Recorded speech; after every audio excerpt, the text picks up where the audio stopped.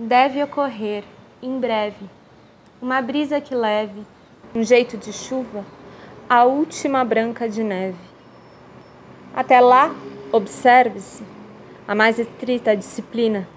A sombra máxima pode vir da luz mínima.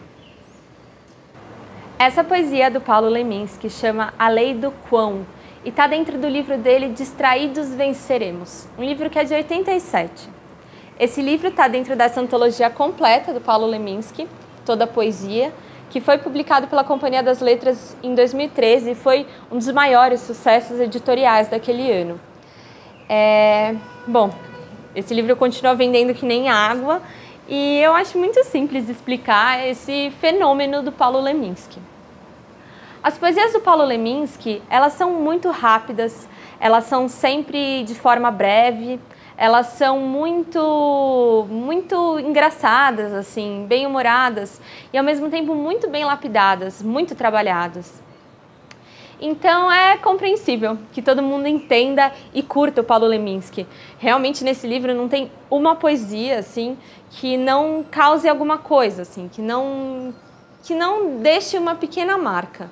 O Paulo Leminski está sempre procurando o centro da poesia. Ele, ele começou a escrever nos anos 70, quer dizer, ele começou a, a poesia dele começou a vir à tona nos anos 70, e ele era um dos poetas que ficava muito entre os concretistas e a geração do mimeógrafo, a poesia marginal, essa poesia de um tom mais coloquial.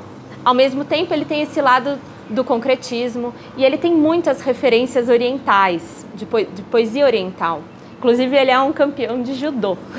Acho que ele é faixa preta de judô. Então, tem esse, esse quê de jogo, sabe? Ele sempre estava jogando com a crítica, jogando com o público, jogando com as referências dele.